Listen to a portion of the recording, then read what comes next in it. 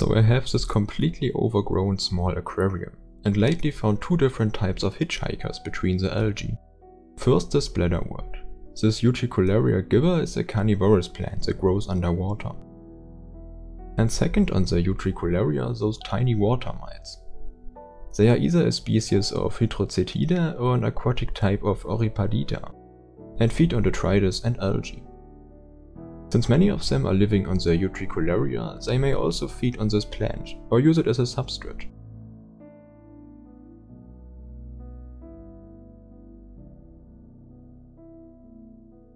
So I set up this jar to have a dedicated ecosystem for both of these species.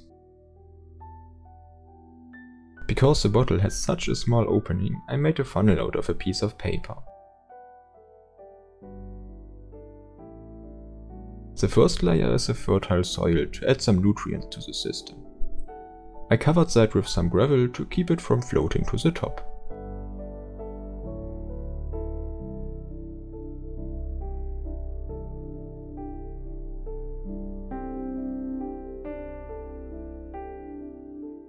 To add the plants I added a little bit of distilled water.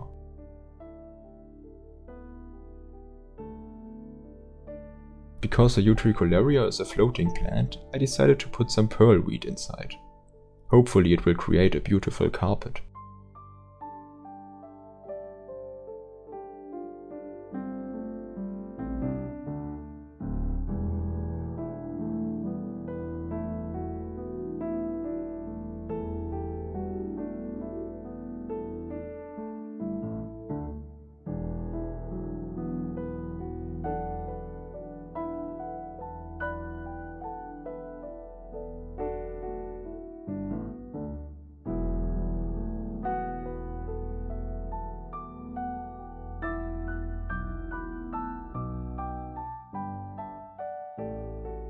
I accidentally pulled out this tiny plant, so I also planted it into the bottle.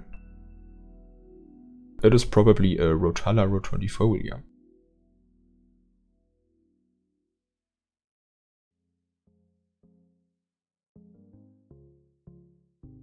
Afterwards I added the water and spilled most of it on my desk. Good job.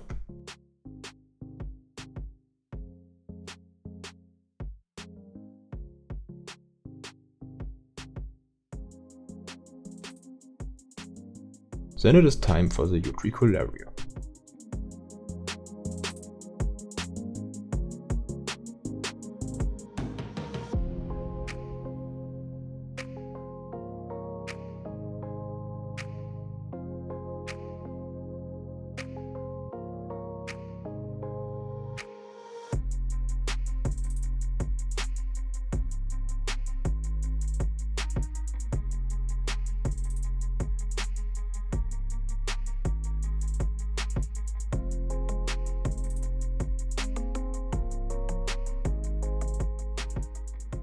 Here you can already see one of the water mites attached to the plant.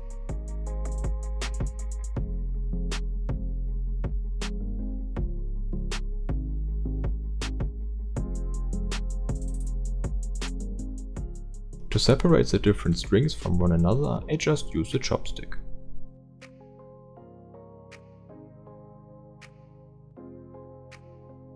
In the leftover water from the Utricularia you can see some movement in this time lapse.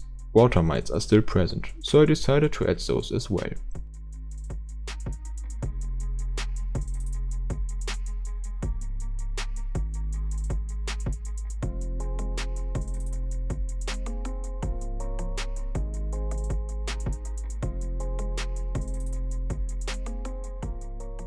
This way it was also easier to get the debris and duckweed out of the bottle.